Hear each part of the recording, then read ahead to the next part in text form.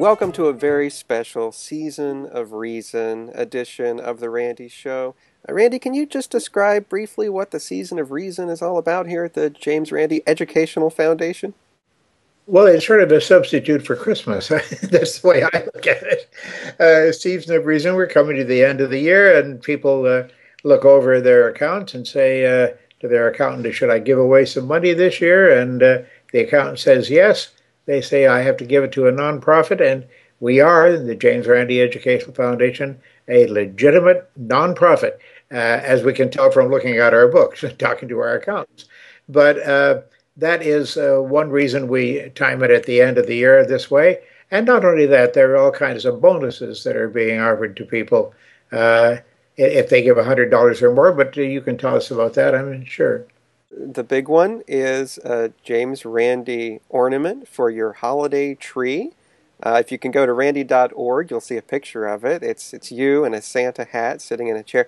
And we've gotten a couple of comments, emails, questions from people okay. uh, asking if you are in fact Santa Claus. And that's that's not true, right? Well, depends how you define Santa Claus in this household, pretty well, yes, but not outside these walls. uh, no, I, I have I have a serious doubt about the existence of the jolly old elf and flying reindeers. That, that's that's a little tough for me to take, you know. No, no, wait a second, wait a second. And I, I have a problem with that, uh, Brian. I, I'm sure you don't have any problem with it, but uh, I mean, look, my my I, mother told me that that you aren't Santa Claus, but you're just one of his helpers. No, exposed, exposed. Finally, I, I, I knew this day would arrive. I, I, just knew it would arrive, and uh, my my apologies to the world, and I, I hope that you'll put this on YouTube so that uh, it will be exposed to the whole world. I am only a a helper, and I'm a little bit lame in the hip now, so uh, I'm, I'm not doing that much helping. I do a lot of uh, paperwork uh, for the jolly old elf. And uh, I do it in Florida rather than doing it at the North Pole because I, I tried it one time and uh, I gave up after about six hours of it. I, I was frozen to the pen. You know that that gets your attention right away. Seriously, ladies and gentlemen, the season of reason is very important to us at the JREF, and uh, important to us who uh, have literally dedicated our lives and our existences to um, bringing rationality and sanity to the public at large, not just to the members of the JRF, but to schools and school teachers, instructors of all kinds, and uh, through the amazing meeting that we uh, involve ourselves in every year. And this last one had 1,672 attendees. That that's a hell of a big figure, you know. Yeah, it's and the largest are, uh, conference for skeptics yeah. and free thinkers in the world. That's true. And from 35 countries, Brian, there were 35 countries represented there. That's really flattering. I don't think I could find 35 countries on, on the, uh, the globe of the world if I tried to, but we had that number of countries actually represented there. Uh, that's a thing to be very proud of, and I'm personally very proud of it, but it could not have been done without the, the cooperation of uh, all those fine people who volunteer for us and who work for us and we, we do have many, many, many supporters all over the world who help us out uh, all the time. And even though we're a small organization, we've been able to accomplish quite a bit this year. Mm-hmm. Um, you mentioned our educational programs. If people go to randi.org, they can see how they can download educational modules to use in the classroom on all sorts of topics. Uh, we've got and for ES- free. For free. Absolutely free. Uh, we've got an ESP module working on a dowsing module and a module on the Cottingley fairies.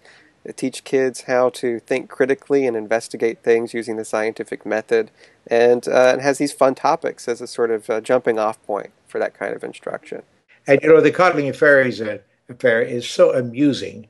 It's so so juvenile that Arthur Conan Doyle, the creator, Sir Arthur Conan Doyle, pardon me, uh, knighted uh, in England. Can you imagine? I mean, actually knighted, not for the creation of Sherlock Holmes, but for another support of the government that he was famous for.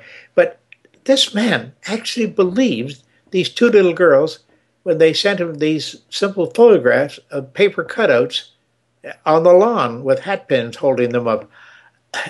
it's an incredible story, the Cottingley Fairies story, uh, but it's a good subject for kids because they'll get amused by it. But then I hope that it sinks in on them the importance of it, the seriousness of it.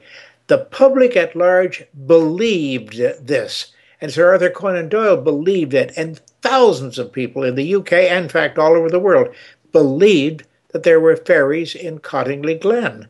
Uh, incredible that people would believe this or that, but there are still people, we call them theosophists, who believe in gnomes and uh, and the the gnashing of gnome teeth. I always think of it as and fairies and, and, and we folks and they still believe in it and they call themselves theosophists.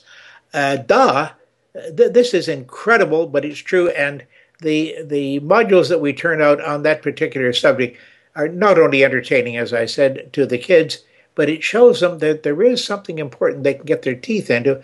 And when they get into a discussion of why did people believe this, they can hardly believe the conclusions that they come to. It's very educational and it's very useful, and I'm very proud that we have that out there. And in addition to that, we also offer uh, educational grants to teachers who want to develop a critical thinking curriculum for their own classroom. We offer scholarships for students. I mean, just the list goes on and on and on. Just yep. go to randi.org and click on our Season of Reason banner, and you'll be able to see a rundown of uh, everything that we've been up to this past year and what your money would go to support uh, when we go into next year because we have a lot of big plans for the future. We're, we're in tough times. Sure, we are. We are in tough times. There's no denying that. But you can make those times just a little less tough for us at the JREF, and it will improve life for everybody, not only in this country, but really around the world because we have a lot of fans, a lot of supporters from around the world. I hope that you'll join them in the season for reason. The Randi Show is a production of the James Randi Educational Foundation. To learn more about how we promote science and critical thinking, go to randi.org.